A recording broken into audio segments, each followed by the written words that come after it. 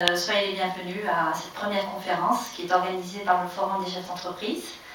Donc euh, c'est un premier cycle euh, qu'on va initier pour justement partager l'expertise et les connaissances de, grands maîtres algériens dans le domaine de l'économie et peut-être dans d'autres domaines socio-économiques.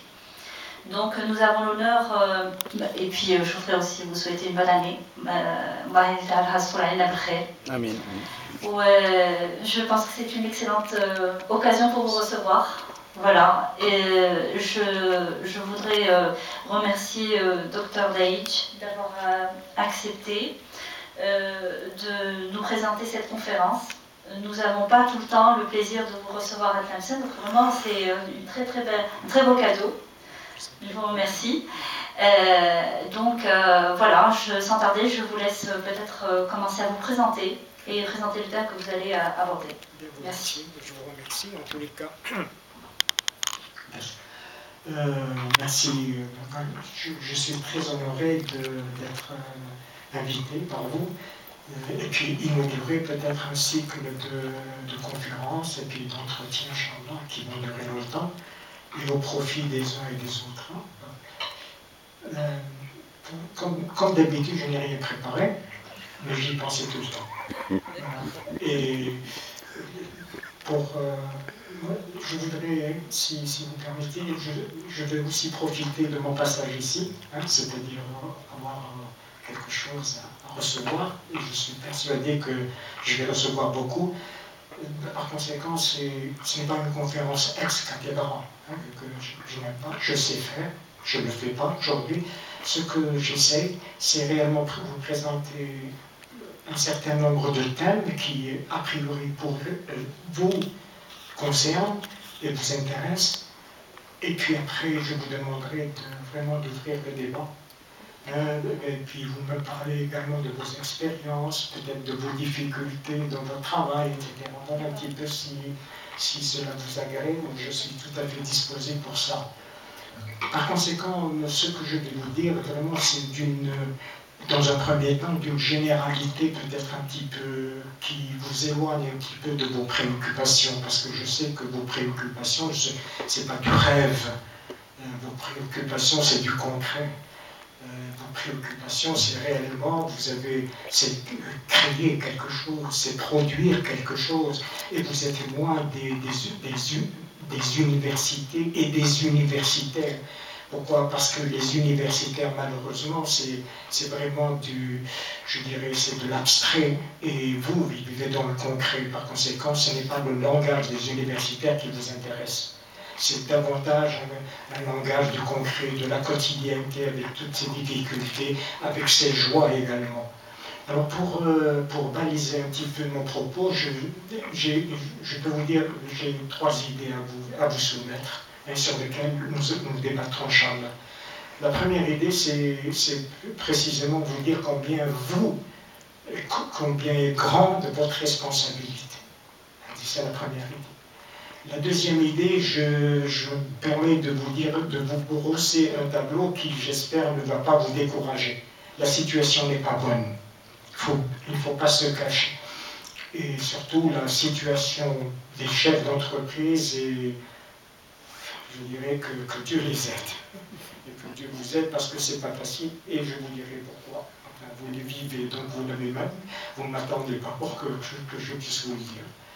Et la troisième chose, et c'est là réellement où je, peux apporter quelque chose si vous voulez, et ce sera l'objectif également de notre partage, de, de notre dialogue, qu'est-ce qu'on peut y faire? Je ne, crois pas, je n'ai pas la, baguette magique, je n'ai pas dit, mais je sais par expérience, euh, par expérience un peu partagée modestement dans le monde entier, euh, dans les, universités les plus prestigieuses, euh, voulais-je dire Euh, bref, euh, je vais vous donner quelques, quelques éléments qui peuvent, le cas échéant, vous ouvrir des horizons, en tous les cas vous alléger. Vous alléger. Hein. C'est ça le problème. Parce que, parce que l'économie et la conception de l'économie telle qu'elle est, enseigné dans le monde entier. Le prix Nobel qui vient d'être attribué il y a trois ou quatre jours, franchement, pour avoir lu ses, travaux, Mahal je pense qu'avec ça, il va arranger l'économie mondiale. Mais ce n'est pas notre propos. Donc, première idée, euh, j'attire votre attention. Vous, je, voudrais dire pour vous motiver, mais vous n'avez pas besoin d'être motivé. Parce que franchement, si vous êtes là, et pas uniquement cette, euh, cet entretien, c'est que réellement vous en voulez. Vous en voulez. Hein, euh, réellement, il y a un désir de votre part, là qui est absolument exceptionnel et que Dieu vous aide dans votre tâche. Parce que, deuxième point, parce que vous n'allez pas trouver, comme je dis souvent dans d'autres circonstances, vous n'allez pas trouver un long fleuve tranquille. L'économie, d'une manière générale, et a fortiori une économie en crise, elle a des, handicaps, elle a des caractéristiques absolument qui euh, décourageraient les plus courageux. Qu'est-ce que c'est? Vous les vivez. Vous les vivez. Vous allez, euh, quoi, vous allez à la banque pour demander un prêt? Vous n'avez pas de vis-à-vis. C'est très grave. Une économie où il n'y a pas des flux bancaires qui vous aident dans l'investissement, etc. Or, je ne sais pas, ce n'est pas une critique du régime là, hein, chacun comprendra sa manière, mais les banques algériennes ne jouent pas leur rôle. Leur rôle parce que un des moteurs, un des éléments, un des aides à la, création et à la vie de l'entreprise, c'est précisément la banque. Or, la banque, il m'est arrivé, je viens, je, viens de, France, j'arrive avec un, vous savez, comme je ne suis pas résident algérien, je suis résident français, le gardien à la, PAF, euh, la douane de, la PAF, me donne des papiers pour remplir, vous savez, le truc. Alors je remplis mes devises, mais je n'apporte pas grand-chose. Et puis, euh, donc, à la sortie, je, montre à nouveau mon, papier, vérifie le cas échéant, etc., ce qui a été échangé. échangé. Nous, nous avons une banque, euh, Bel Air, je ne fais pas de la, publicité, d'ailleurs même je risque de lui faire de la mauvaise publicité, Nietzsche pour changer 50 euros. Un titre vraiment c'est symbolique. Vous voyez pas, je reste à peu près vraiment authentique trois quarts d'heure. Lorsque je songe que, euh, que ce soit n'importe quel pays du monde, vous pouvez très très bien euh, savoir quels sont ses billes euh, vous savez un petit peu, partout, vous avez un, bureau de, trucs, enfin, en changeant avec le, truc, le distributeur automatique, vous avez la, somme que vous voulez. Euh, à propos de, distributeur automatique, on m'a raconté une histoire, j'espère que, je, n'ai aucune raison de, ne pas croire la personne qui, il paraît qu'elle a fait, parce qu'il y a un système de banque, de cartes maintenant. Mais c'est très excellent. Alors les gens, enfin les plus, je ne sais pas si c'est les plus conscients ou les plus... Hein, et au lieu d'attendre parce qu'au guichet il y a trop de monde, donc ils utilisent le distributeur, là où il y a le distributeur, la personne qui me racontait l'histoire, elle a demandé 20 000 dinars, ça me paraît un peu beaucoup, on ne demande pas 20 000, peut-être, puisqu'elle a. Et figurez-vous que l'argent ne sort pas. Elle est allée au guichet près de Makash, 20 000 dinars Comment voulez-vous que vous euh, créez, comment voulez-vous créer une confiance dans la technologie, dans l'avenir de, ces organismes? Ça, ça observe. Bon, alors donc parmi les, les il y a, il y a, Micro, oui. A, donc, de, euh, le, système bancaire qui est fondamental dans, dans l'économie d'un pays ne fonctionne pas. C'est terrible ça. Qu'est-ce qui ne fonctionne pas non plus? Vous allez, c'est euh, malheureusement, et encore une fois, permettez-moi, ce n'est pas, je ne, suis pas ni anti-gouvernement ou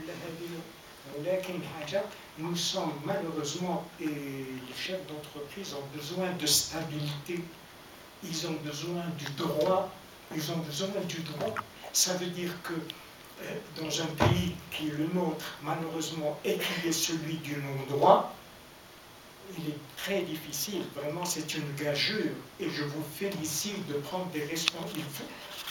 Vous en voulez, hein, si vous, vous lancez dans une activité d'entreprise, mais je ne veux pas, encore une fois, je ne veux pas vous décourager. Mais il faut s'attendre à, la création d'une entreprise. Voilà les faits, voilà les handicaps que vous allez trouver, malheureusement. Par conséquent, il va falloir prendre conscience, avant, de, avant d'initier quoi que ce soit, il faut prendre conscience que les choses ne sont pas, ce n'est pas une c'est pas une partie du tourisme. Hein, c'est pas une partie du tourisme. Hein, on hein, c'est pas du tourisme. L'entreprise, la, création d'entreprise n'est pas une partie de plaisir. Vous avez donc une situation de non-droit. Vous avez également, consécutivement, la question des impôts qui réellement, le, il y a du dit et du non-dit, et puis du caché, etc. Vous ne savez pas à quel. C'est également du non-dit. Et puis vous êtes à la merci d'une guichetière ou d'un inspecteur ou là, euh, dans la tête ne, vous revient, ne, lui revient pas. Vous videz ça. Je suis un petit peu vulgaire. Il ne marche pas sur le chalet. Et s'il a des, des, comptes à régler, soit avec une femme, soit la femme avec un homme, etc., eh bien, il vous fait, il vous fait poireauter, il vous fait. Bref, il ne vous arrange pas. Hein, Mais il y a aussi une chose que vous allez rencontrer.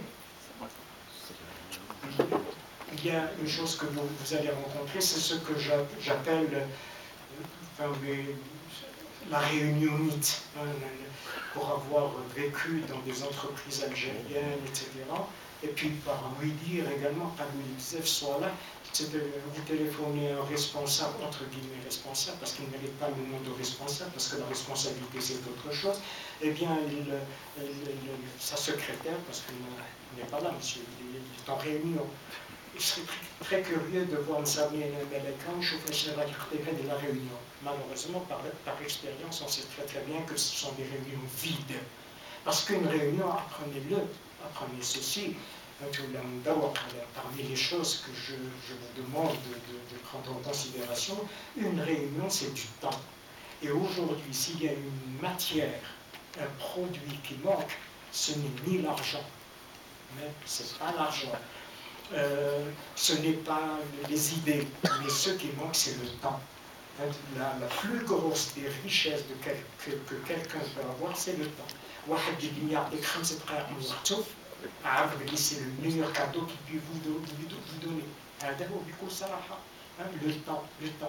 le temps, est devenu une, une, une, production, hein, quelque chose de très rare. Et par conséquent, apprenez à respecter votre temps et à respecter également le temps des autres.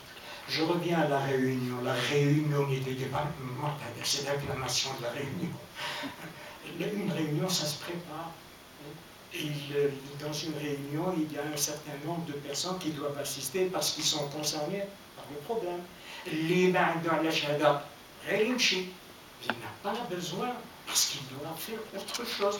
Parce que dans une entreprise, c'est une équipe et, une équipe. Et s'il y a un pion, s'il y a un joueur qui ne joue pas son rôle, la, structure, la, structure, le système entreprise fiche le camp. Par conséquent, il va falloir que, et nous, nous reviendrons là, en, ce qui concerne le choix des, participants dans l'entreprise, etc. Donc, euh, nous avons parlé rapidement des banques euh, frileuses, nous avons parlé de la, du, du non-droit hein, en général, de, des impôts qui ne, qui ne, sont pas compétents, il faut bien le dire. Euh, vous allez également donc, vous allez aussi faire face à, des, à ces réunions peut-être vous-même vous êtes l'objet, euh, vous êtes le sujet de ces, réunions, et j'espère dans l'avenir vous ne le serez plus, hein, mais surtout les autres sur lesquels vous n'avez aucune prise. Il a vous pouvez, vous pouvez rien, n'est-ce pas, s'il y a une visite d'un ministre quelconque, et bien il n'est pas disponible, et d'ailleurs même les autres jours, mais enfin ça c'est mon propre, c'est donc voilà. Parmi les choses qui me paraissent très très importantes et que vous allez, euh, oui, euh, il y a, l'information également, hein, l'aide, l'information, l'information, attention à l'information, l'information c'est un produit, je parlais tout à l'heure du, du, temps comme vraiment richesse, l'information est également une richesse, elle a de la valeur, c'est un capital l'information. Et attention, l'information, il faut absolument que qu'elle soit dosée à votre projet, elle est dosée à votre projet. Attention à la surinformation. La surinformation est un mal également. Hein. vous, vivez ça, hein. c'est pas, je sais qu'il n'y a, rien d'extraordinaire, de, de, magique, mais attention, la, surinformation est un mal. Hum, donc, euh, il vous appartient également, et on, se, on verra tout à l'heure, comment pour maîtriser l'information, la maîtrise de l'information. C'est tout un problème. C'est la formation des chefs d'entreprise quant à la quant à la maîtrise de l'information. Ça, c'est un des devoirs, des devoirs du chef d'entreprise. Vous, devez rechercher l'information pertinente, juste qu'il faut, pas plus, hein, pas de la surinformation. Et attention à la rumeur. Attention à la rumeur.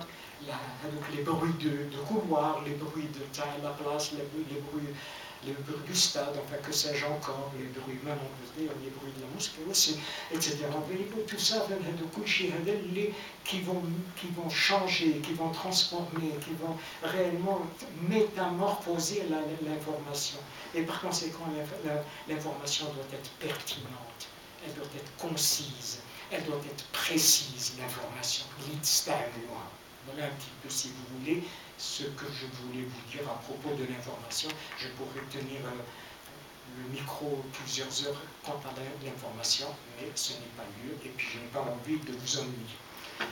Donc voilà, en tant que chef d'entreprise, vous êtes motivé, on a, hein, c'est le là, vous êtes réellement, vous allez, vous allez réellement faire, vous allez être confronté à des situations qui sont vraiment souvent inextricables, donc sachez Hein, que vous allez rencontrer ces situations.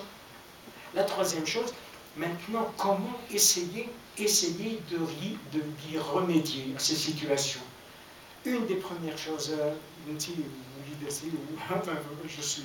On a, je pense, professeur, que c'est plutôt ça ce qu'on attend de vous. Bien sûr. Euh, quel est euh, justement, euh, parce que nous, le, constat, je parle sur le contrôle de, mes amis présents, le constat, on, on, le vit.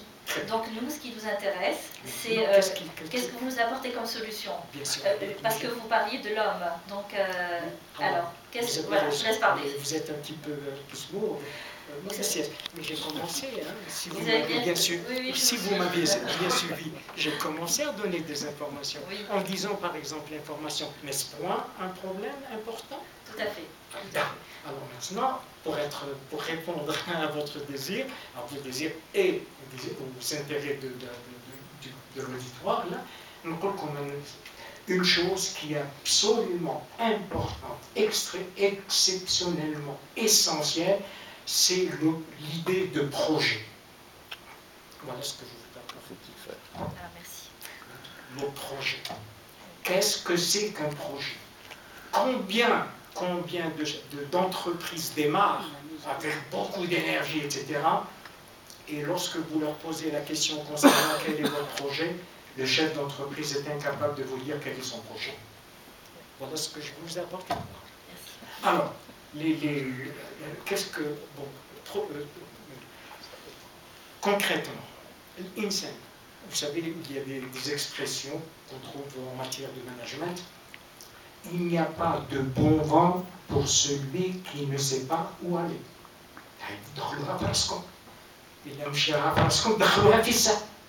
Il n'y a pas de bon vent pour celui qui ne sait pas où aller. Mais c'est formidable comme, comme, leçon. Combien de projets, combien d'entreprises. Ah, oh, mais oui, le projet? Oui, le projet? C'est pas clair. Ça ne suffit pas. Les émotions, le désir, la joie, etc., le, le, dynamisme, c'est bon, c'est nécessaire. On en a besoin, n'est-ce pas? Mais en même temps, attention, ce, ce, désir, ce désir, ce dynamisme, etc., doit être canalisé. Doit être canalisé. Parce que le projet, donc, c'est le projet, c'est trois choses. Trois choses. Le projet, c'est du sens c'est du sens. Le projet, c'est de l'affectif. Et le projet, c'est du matériel. Et puis on peut rentrer à l'intérieur de chacun des éléments. On peut rentrer parce que ce n'est pas aussi simple. Lorsque je vous dis du sens, ça ne veut rien dire. Parce que le mot sens a du sens et a des significations. Par conséquent, un projet, ne, ne vous lancez pas dans une activité si vous ne savez pas où aller. Parce qu'il a des, euh, par, imitation, par, par j'allais dire par contagion, par euh, gloriole, etc. Euh, entreprise, et puis ça va. Non, ça ne suffit pas. On a besoin de ça, mais ça, ça c'est un but mais comment atteindre ce but? Donc il y a des moyens. Et ces moyens sont de deux sortes, au minimum, hein, elles sont, les moyens sont d'ordre matériel et les moyens sont d'ordre humain, d'ordre humain. Hein? Alors, qu'est-ce que ça veut dire d'ordre matériel? Bien entendu, il vous faut pour l'entreprise, je parle votre langage maintenant? Oui, oui, s'il vous plaît. Merci. donc, le, projet, donc, nous, avons vu qu'il nécessite un sens, c'est-à-dire quel est le sens, c'est-à-dire quelle est la signification pour vous ce projet. Est-ce qu'il est important pour vous le projet? Pourquoi vous le faites? Pour faire plaisir à quelqu'un? Pour vous faire plaisir? Euh, pour, pour, pour, la compétition avec les autres, un chef d'entreprise, oh, non, il faut absolument être au clair avec le sens de votre projet. Être au clair avec le sens de votre projet.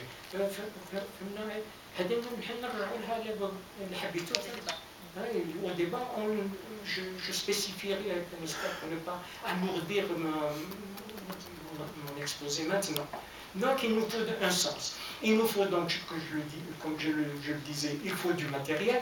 Et ce matériel, c'est bien entendu de l'argent.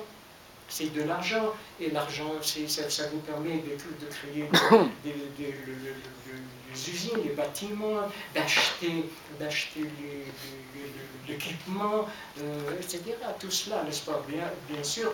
Euh, l'achat de l'équipement pose un certain nombre de problèmes que je ne, je ne traite pas. Si un jour vous m'invitez pour ça, je pourrais vous le faire. Mais réellement, il faut absolument, comme là que il y a, il faut, il faut avoir suffisamment de matériel physique et financier. Hein. Financier, il faut avoir de l'argent. Il faut avoir, être assuré qu'un investissement, il ira jusqu'au bout.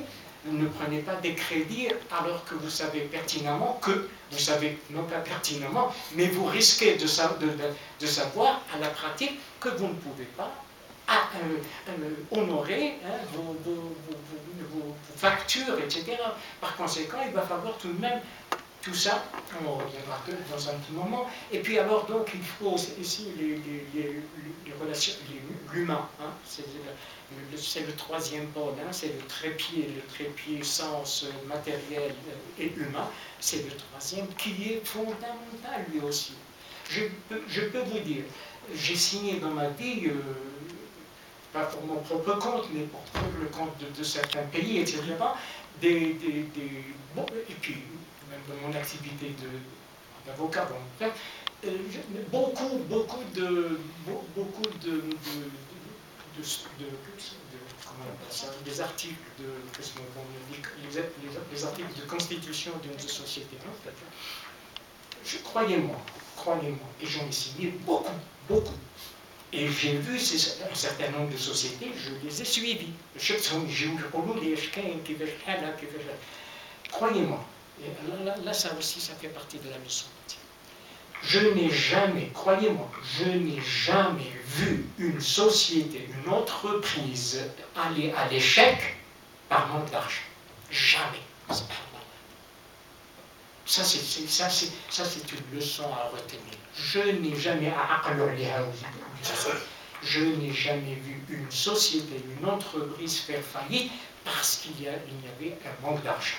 Par contre, au contraire, j'ai vu, j'ai vu des sociétés péricliter aller à la faillite très, très, très vite, hein, très vite, et eh bien tout simplement parce qu'ils ne savaient pas où aller, parce qu'ils n'avaient pas le sens, le sens du, le sens de l'entreprise. Parce que ça fait bien, comme je le disais à l'instant. Donc le problème, et le troisième, nous avons dit les êtres humains. C'est ce qu'on appelle en droit, droit civil c'est l'affection sociétatis, ça veut dire est-ce qu'une ou les mêmes Combien de, d'associés Shoraka, des, des associés qui ne durent pas longtemps. Pourquoi? Parce qu'ils ne savent pas où aller ensemble. Combien de sociétés? Combien? Combien de personnes?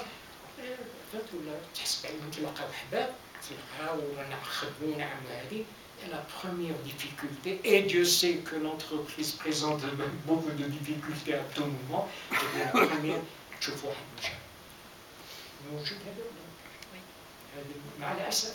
Par conséquent, je reviens à ce que je disais tout à l'heure. Donc, le choix, le, la signification de votre projet. La deuxième chose, c'est réellement, réellement avoir les, les éléments matériels. Mais mais à condition que dans un milieu où vous pouvez très très bien compter sur les banques, etc., le cas échéant, pour prendre le relais s'il y a une difficulté. Mais le, choix des individus, le choix de votre personnel, soit au niveau de l'actionnaire, donc des associés, soit au niveau de au niveau de, vos, de, vos, employés, au, au, niveau de vos experts, entre guillemets, etc., tout ceci vous appartient. Le chef d'entreprise, le chef d'entreprise, un de ses rôles, parmi ceux que j'ai cités, c'est aussi le choix des armes. Combien de, combien je répète, combien de sociétés en sont allées à la faillite Tout simplement parce que, incontestablement, la, la, la, société, c'est-à-dire la compréhension, ça n'existe pas. Et par conséquent, il vous appartient dès le départ le choix, le choix des hommes et puis euh, là, alors là, c'est aussi une responsabilité qui vous appartient, appartient en tant que chef d'entreprise. C'est ce que c'est ce que vous, hélas, faites rarement, c'est la délégation. Il faut savoir déléguer. Il faut savoir déléguer. Malheureusement, dans les pays arabes, dans les pays arabes et dans les pays étrangers, réellement, on a l'impression qu'il y a une, une, un manque de confiance en nous. N'avons pas confiance en nous et par conséquent, on n'a pas confiance en l'autre. Par conséquent, il faut absolument apprendre, si vous voulez gérer votre entreprise, il faut apprendre à déléguer. Il faut apprendre à déléguer ça, parce que vous ne pouvez pas. il ne faut pas se perdre dans les détails. Les détails, mais ne vous, ne vous occupez pas du détail. Choisissez vous les hommes qui sont capables de, prendre en considération les détails, mais une fois l'homme choisi, etc., et s'il y a un truc, c'est vous qui êtes responsable. Vous avez même la possibilité de, de, de, de pointer, enfin, c'est-à-dire de voir un petit peu qui est responsable à l'occasion d'une opération quelconque, qui est responsable de l'affaire. Donc le choix, le choix des, le choix de vos collaborateurs est très important. Parmi les difficultés aussi que, vous avez diagnostiquées, que vous vivez probablement, c'est des, du personnel non qualifié.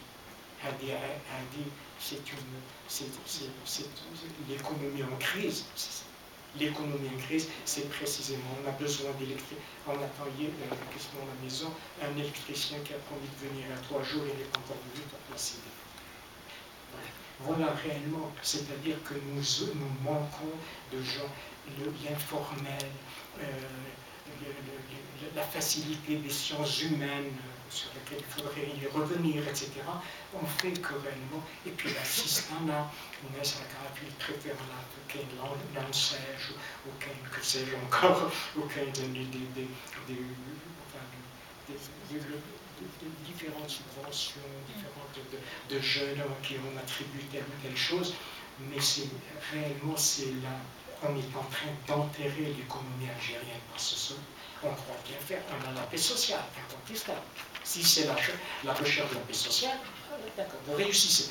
Mais si c'est pour préparer l'avenir de l'Algérie, ce n'est pas le bon système. Il faut absolument apprendre aux gens à travailler de leurs mains. Euh, il y a eu, il y a, une cinquantaine d'années, un débat entre, entre la théorie et la pratique. Eh bien, beaucoup, c'est l'abstraction, faut, il faut enseigner les généralités, il faut former des économistes avec les, des, prix Nobel, avec le marxisme, avec le libéralisme. Rien du tout. Ça n'a rien donné. Par conséquent, il nous appartient maintenant, il nous appartient et il appartient aux, autorités dites supérieures, eh bien, de revenir sur, sur Terre.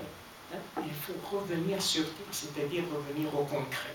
Voilà un petit peu, si vous voulez, bien entendu, je n'ai pas, probablement, je n'ai pas répondu à toutes vos questions. J'attends le partage, mais réellement, je crois que je vous ai donné là, d'une manière explicite, fait le comme vraiment je sais de quoi je parle. J'ai été confronté à des... Euh, j'avais dans une entreprise, j'avais j'étais responsable de la direction financière, j'avais 25 nationalités représentées dans ma direction financière. 25. Ils venaient de partout. Il y avait des Pakistanais, il y avait des Indiens, il y avait des Irakiens, il y avait des Syriens, il y avait des Saoudiens, vraiment des pays arabes, il y avait des Algériens, il y avait des Marocains, mais pays arabes, des Américains, des Anglais, etc. Et il fallait tenir, il fallait tenir, il fallait obtenir le consensus et faire de telle manière que cette, équipe multiculturelle eh bien, est capable de créer quelque chose ensemble. Et réellement, le chef d'entreprise, c'est quelqu'un qui permet justement, qui amène, c'est le coach, c'est quelqu'un qui amène une équipe à, aller dans la même direction. Si un élément de, si dans une équipe de football, si le goal laisse passer les trucs, l'équipe rien. Si, etc., etc., s'il n'y a pas de personnes capables de, de d'être des attaquants pour, pour, euh, marquer des buts. par conséquent, il appartient au chef d'entreprise de faire équipe. De faire équipe. Vous êtes, les chefs d'entreprise sont des chefs d'orchestre. Des chefs d'orchestre, qu'est-ce que c'est qu'un chef d'orchestre? C'est quelqu'un qui réellement fait de la bonne symphonie. C'est quelqu'un qui fait de la bonne musique. Hein? Il est chef d'orchestre ou un et, je sais, et je sais que beaucoup, parce qu'il y a tellement de problèmes, le chef d'entreprise, eh bien, pire quelquefois. Elle un échec qui me concerne, des impôts, etc. Tout ça, eh bien, le chef d'entreprise n'est pas toujours en mesure de maîtriser tout ça. Voilà ce que je voulais vous dire, je m'arrête là Hein, parce que je, je parlais peut-être une, oui, peut 25 minutes, et j'attends maintenant, الحاجة اللي ما كانتش واضحة ولا j'attends à vous répondre de la manière la plus fraternelle, affectueuse possible.